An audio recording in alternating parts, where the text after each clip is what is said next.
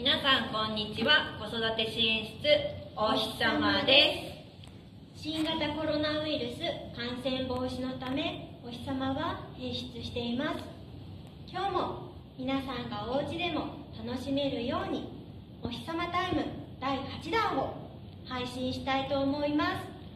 今回は島次郎の友達の輪を踊りたいと思います。じゃじゃん。今回はポンポンを用意してみました。お家で用意が難しいお友達はバンダナやハンドタオルを使って踊ってください。それではミュージックスタート。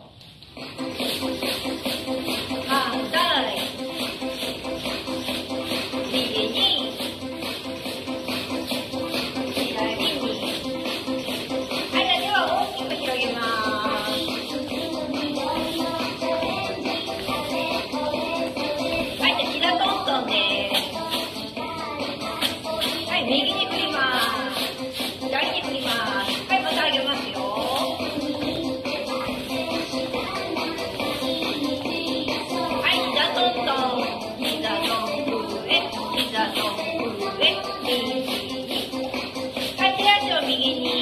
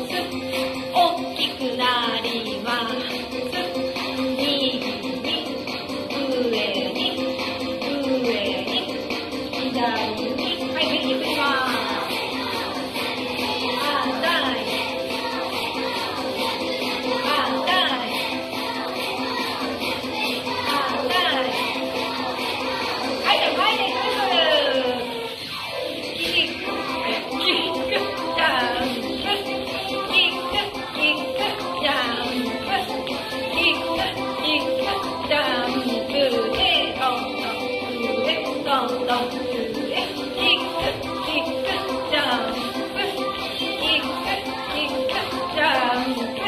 い、上に上げます。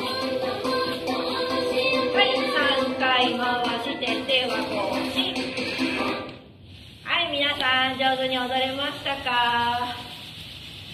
それではお日様がまた開出した際には皆さんに会えるのを楽しみに待っています。では次回の配信もお楽しみに。